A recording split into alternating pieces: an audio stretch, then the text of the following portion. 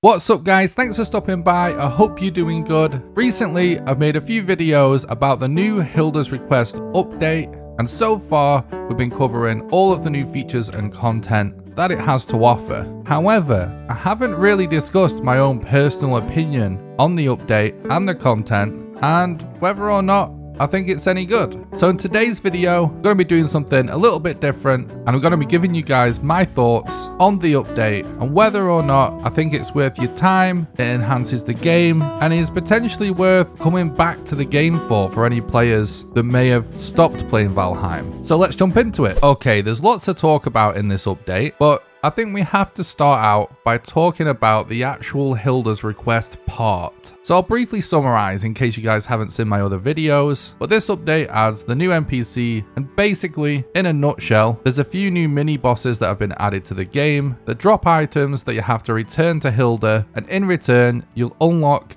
new items that you can buy from her. The first thing I feel like is worth noting about this new NPC is the fact that she is a little easier to find. First of all, she spawns in the meadows where the line of sight is a lot less obstructed than the Black Forest for example, but also meadows are obviously a really easy biome to survive in. They're not filled with mobs like some other biomes, so you can actually explore these biomes a lot faster. So I don't think you'll find it necessarily a ton faster and a ton easier than finding Haldor, but it should be a little easier, and I think that will make a difference because lots of players experience quite a lot of frustration when trying to find Haldor. So that, I think, is definitely a good thing. As for being able to buy the item you need to make the barber station, I think that is actually a really cool item for a trader to sell, and whilst the barber station isn't the biggest deal, I do think it is a nice little fun thing to be able to add to your base, and for people that like to make really cool, elaborate base designs, it is a really cool model that could make a really nice set piece in a bedroom or something like that. And of course, you know, it is fun to be able to change the way your character looks, especially if you're going to be sticking with the same one for hundreds of hours. Now, before we get on to the other stuff or the other cosmetics that you unlock, let's talk about the bosses, because this is actually one of the most positive things about the Hildir's Request aspect of the update. The addition of having a variation on certain existing dungeons,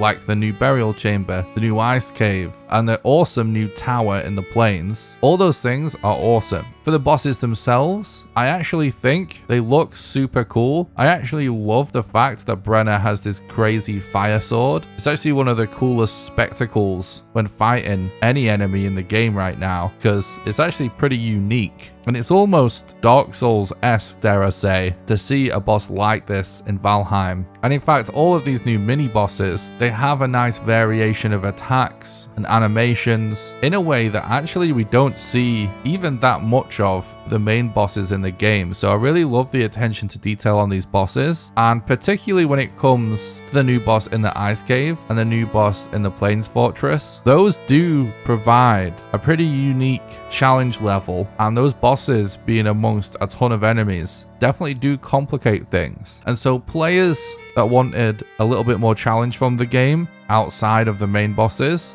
I think should be very happy with this, and I personally do think that these mini bosses are an awesome addition. To be honest, maybe even a little on the difficult side for some players, even on normal settings. However, I think that is absolutely fine because they are completely optional. So overall, I think the bosses are awesome. That brings me on to my next point. One potential downfall of this is that there seems to only be three different spawn locations for these unique dungeons that contain these bosses. And so that actually does kind of make each of these mini bosses a little bit of a needle in a haystack now, I think this is actually cool in some ways because I think games do benefit from having some pretty rare scenarios that create exciting new combat moments like a random mini boss that is not very common because discovering it in itself is actually part of the reward, especially when it involves some unique and fun gameplay like these actually do. So I think that is actually cool. But that brings me on to my next point, which is the actual rewards. Now, when you beat these bosses and you hand the chest to Hildir, you unlock new cosmetics that you can buy. And I do think all of the new clothing is really well designed and looks really nice and is kind of a fun, wholesome addition to the game in general. But considering how rare the boss dungeons are and how difficult some of them can be, particularly for some casual players, I don't think these are good enough rewards. I do think lots of players are going to find it a little bit pointless to just unlock clothing and that may reduce people's desire to really do this stuff. And so that is actually one of the biggest negatives about the update. Now i want to clarify how i actually feel about it. Personally i think the reward for the gameplay and sort of the sense of discovery and particularly if you're like a completionist the experience of actually finding and doing these bosses is kind of fun. So this isn't a huge negative for me personally but it is a little bit of a negative and I would prefer if there was some more substantial reward like a new weapon or a new piece of armor and just something that had more of a purpose and a function rather than just something to look at. Now I like nice things to look at. I think the clothing should still be there, but I'm just hoping that Iron Gate will add something more practical to the list of items that you unlock for doing this stuff. Because while I acknowledge that the gameplay is fun of doing these bosses, one aspect of playing video games and of core video game design for decades now is also the sense of reward that you get. And part of that sense of reward comes out of the actual reward, literally, that you get. And a lot of players are definitely going to argue that there is little to no reward. Now, there is a caveat to this, which is with the Plains boss, because the fortress itself is its own reward, because this now provides one of the best and most unique locations to build your base. And this is potentially what makes this the most rewarding boss to actually do. And so I am actually totally okay with how this works out, because it provides a unique location that you can build in. But we're probably going to talk more about that in another video. And just to tie up my thoughts on this part of the update, the overall gameplay loop and experience is really cool. I just wish there was a little bit more of a reward, but it's not massively disappointing to me. It's still awesome. I'm excited about the content itself. It's just, for sure, lots of people won't be happy about this. So now let's talk about world modifiers. Now it's pretty interesting because Lots of the focus on this update is gonna be on the new dungeons, the new bosses, the new NPC. But actually I think world modifiers are something that affect the future of Valheim much more than anything else in the update. And I think in the short term it makes sense for people to be more excited about these bosses and stuff. But in the long term, these world modifiers are gonna be much more commonplace and are gonna become a bigger part of people's regular Valheim experience than any of the rest of the content in this update. And so I think the world modifiers in general general are amazing. I think everyone's pretty much aware by this point that one of the first things that people do when they play survival games is install some sort of mod that buffs the resources you get so you don't have to spend forever farming resources. And one of the coolest things about Valheim when it came out was the function that it had portals already. Because also in lots of other survival games, one of the most common mods was to add portals to the game so that you didn't have to traverse